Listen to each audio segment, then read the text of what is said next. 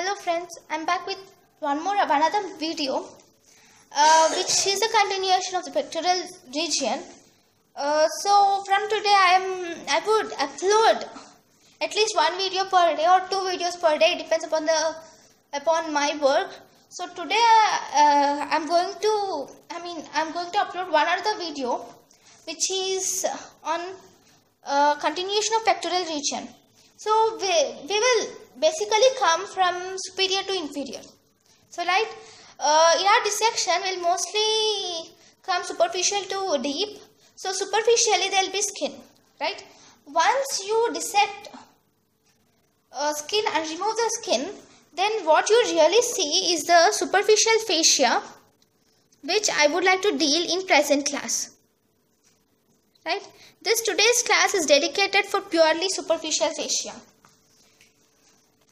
See, just try to imagine everything which is present in your body so that it becomes easier, much easier than uh, uh, keep it thinking anatomy has the biggest burden. Because anatomy is the most easiest subject if you just learn it and visualize things which you see. So, superficial fascia, uh, coming to superficial fascia here, uh, this is just seen whenever if you incise your skin. Uh, so fascia is something which separates two main structures. It's just a membrane to say. It's just a membrane which separates two structures. So this fascia, mainly it contains some amount of fat, which is moderate.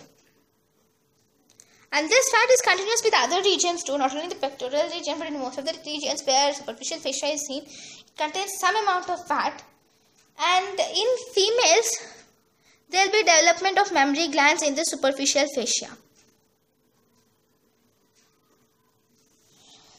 This is the most important structure which we will learn tomorrow in our next class. Uh, so this superficial fascia if you see I would just like to draw a diagram because one diagram will answer lots of your questions. So this is the skin and fascia as it contains basically uh, fat let us draw with yellow so this is fat right right this fat basically in females it contains uh, uh, this superficial fascia basically in, in females it contains breast this fat again has some uh, fibrous septa. Uh, in the gland. So, in next class we will learn about uh, this mammary gland where we will learn about the septa and the anatomy of the gland in detail. So, now first let us learn about the contents which are present in the superficial fascia. One are nerves. These are mainly cutaneous nerves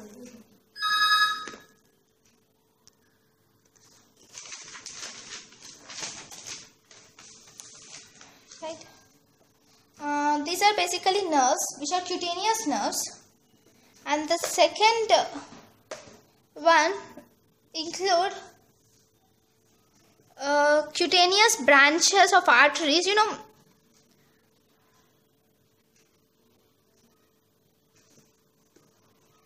Branches of internal thoracic and posterior intercostal artery.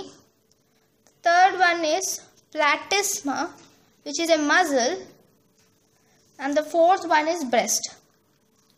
All these are the contents of superficial fascia.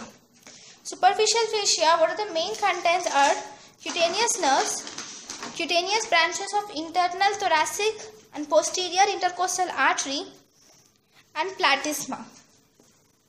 So let us learn about each and everything in detail. Breast we will deal it in, the, in our next class tomorrow.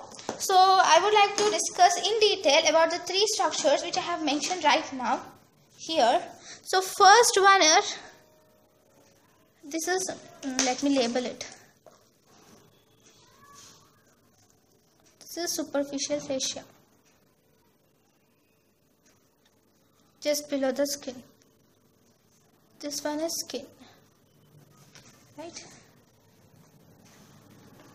So first one. So the first one is cutaneous nerves. Uh, so all these what mean from now you will be you will listen lots of new names but trust me all these names will become so easy for you. Once you complete your the whole anatomy. So just try to remember those names as much as you can do. So this is a person. Right? This is the chest of the person. So I would like to draw all the cutaneous nerves which would come in this region. So first cutaneous nerves are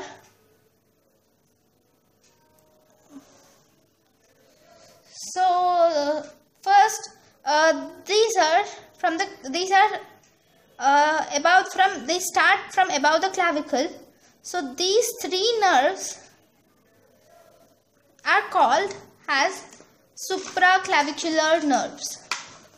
So let's label it with this.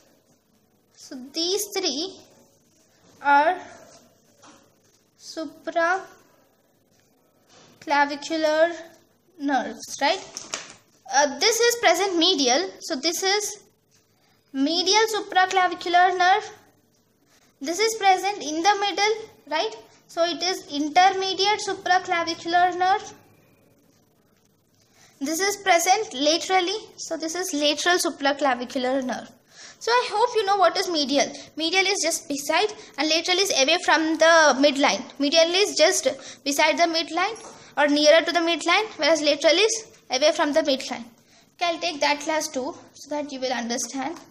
Uh, these are the main three nerves which you which are one group which are which are medial, intermediate and lateral supraclavicular nerve.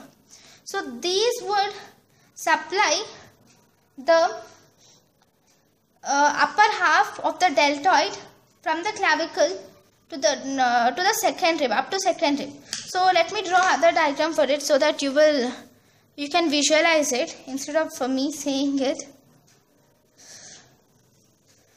so this is the person right so this is the sternum midline and this is this fine so what does the supraclavicular nerve supply as I have said, these supply the skin basically. That to the upper half of deltoid, deltoid will be here. So it supplies upper part of the deltoid from the clavicle to the second rib. So imagine that second rib is somewhere here. So supplies like it. So it supplies from clavicle to second rib. So this is of supraclavicular nerves, right? So oh I'm sorry yeah this is supraclavicular nerves that I think you got it the next nerves are um, anterior and lateral cutaneous branches of second to sixth intercostal nerves. Each i mean there are mm, intercostal nerves which are just present in between the ribs. So they are intercostal. Costa means rib inter means between. So these are intercostal nerves. So there are six of them sorry they are mainly from the second to sixth intercostal space. They are present. So, and they are anterior and lateral. Right?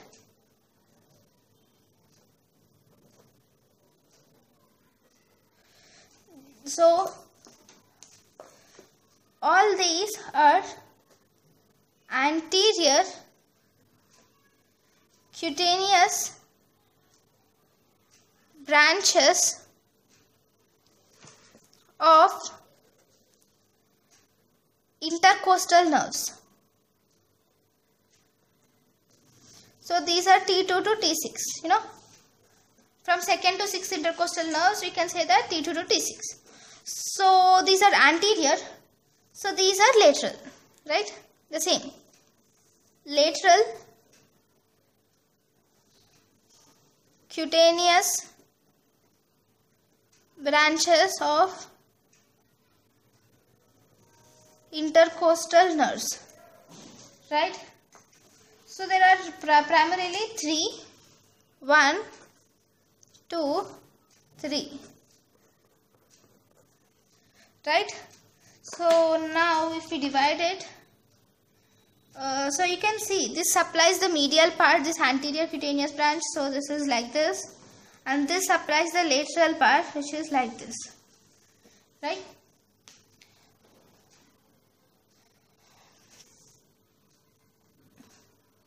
So this is due to anterior and this is due to lateral.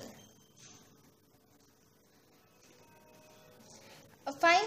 These intercostal nerves will supply uh, their respective places. Sorry sorry i just forgot I mean, i'm just forgetting. I'll just from from the next class i'll draw beside so that you will clearly understand it. So there this is of two ways. One is anterior which is supplies medial part and this is post i mean lateral which supplies the lateral part. So uh, you can clearly see, yeah, I didn't say from where supraclavicular nerves came, right? These are C3 and C, C2 and C3. C3 and C4, sorry. What is the C2 and C, C3 and C4? C3 and C4 are, they, they, their primary branch is from the cervical nerve, like cervical spinal nerves. How do they originate and all those you will learn in your next class. But you can see I think you know, like cervical will be C1 to C8, thoracic will be C, uh, um, I mean T1 to T12. So if you see, this is supplied by supraclavicular nerve, which is C3 and C4. This is supplied by intercostal nerves, which are T2 to T6. If you see C4 and T2, in the middle we missed C5, C6, C7, C8, T1. So all those supply hand. It's really interesting to see. These will supply the hand. Right? So, if you come to the dermatome, you know dermatomal classification, each and every nerve, it is derived from some part of our spinal nerve. Right?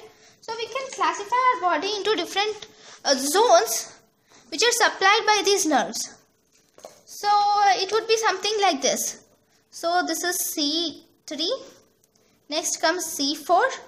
Next comes T2, T3, T4, T5 and finally T6.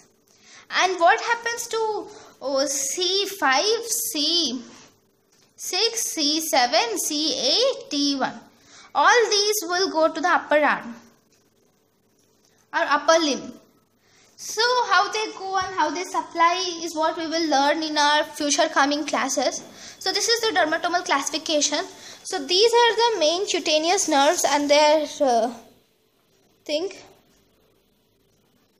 It's like cutaneous nerves which are of mainly three type. I mean uh, three types. One is supra supraclavicular nerves. Other is medial, intermediate, late, medial and intermediate and lateral types. This supraclavicular nerve is divided into medial, intermediate and lateral types. Second one is anterior cutaneous branches of intercostal nerves. Third one is lateral cutaneous branches of intercostal nerves. The second I label here, but it is basically here, anterior cutaneous branches of intercostal nerves and this is lateral cutaneous branches of intercostal nerves. And this is the place that, way, that they supply. This is supplied by this blue part is by supraclavicular nerves This is by anterior and lateral anticutaneous branches of intercostal nerves. This is the dermatomal classification. These are the cutaneous nerves. So next let us learn about cutaneous arteries cutaneous vessels basically. Vessels I swear you will learn in detail whenever you read each vessel in detail clearly. Right? So these cutaneous vessels are very small. You can't even uh, appreciate them that well so these are basically the nerves which with the vessels which supply the fascia and the breast and uh, many areas so these here are mainly perforating branches of internal thoracic artery. From now, I designate artery has A. Right? A and dot is artery. So, perforating branches of internal thoracic artery. This supplies all cutaneous nerves, mainly anterior cutaneous nerves.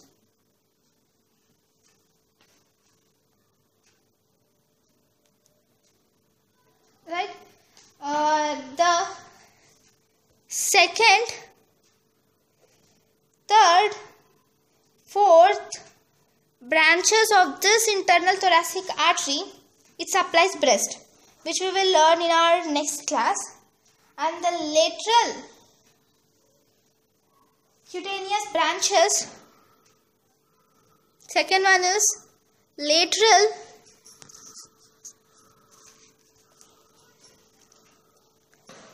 cutaneous branches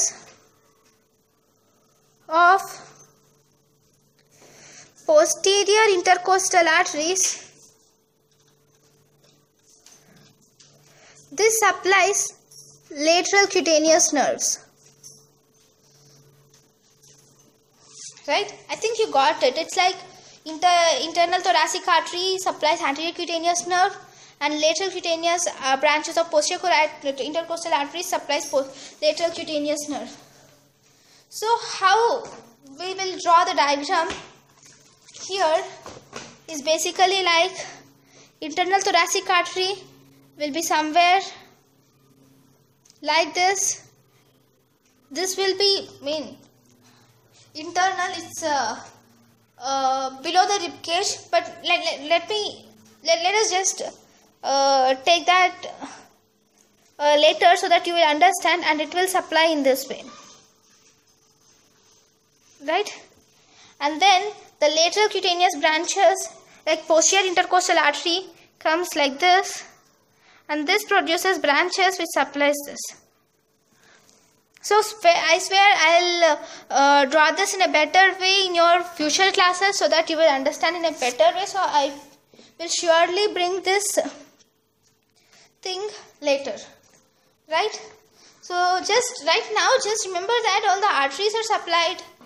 The arteries which are present in the cutaneous vessels are basically supplies the nerves and the fascia in between them. So finally the, la- the third part and the last part which we will discuss right now is the platysma. Platysma is a thin broad sheet of muscle. You know it's a muscle.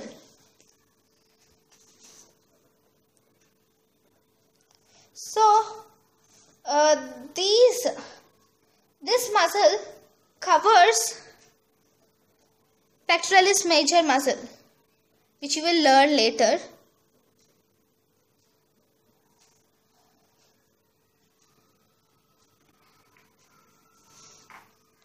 So first in the muscle you will learn about main things. Origin, insertion and how it spreads. So origin of this platysma is from deep fascia of pectoralis major muscle. Or okay uh, covering the pectoralis major muscle it's like uh, I'll just draw a diagram. It's like it's a it's it originates from deep fascia right? And then insertion into the base of mandible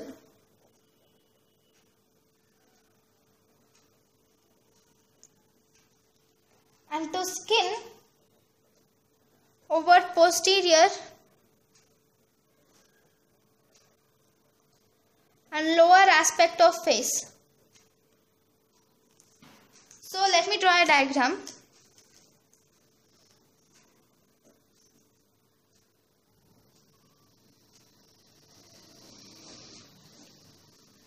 So right, so muzzle basically we draw with brown. So uh, this is a um,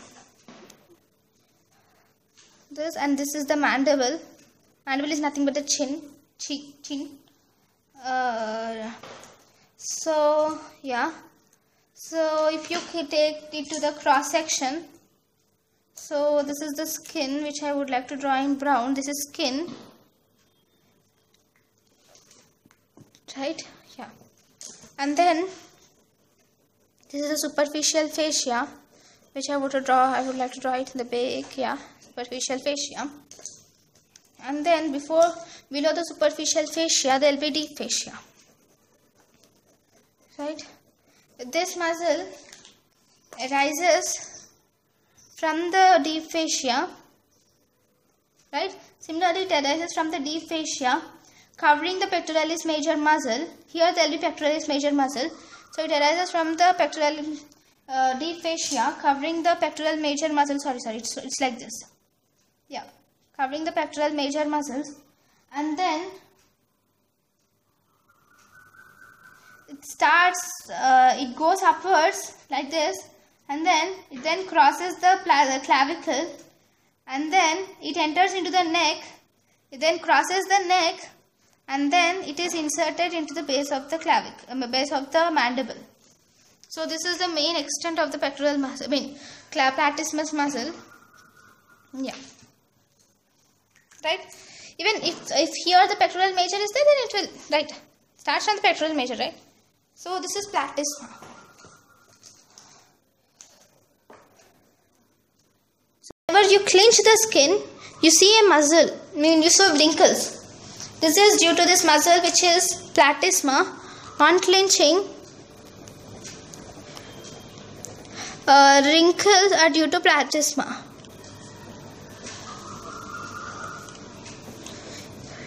right uh, this is the final one which I would like to explain.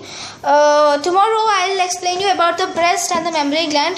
Tomorrow I'll try to go it a little faster uh, because that is a really big topic. It takes lots of time.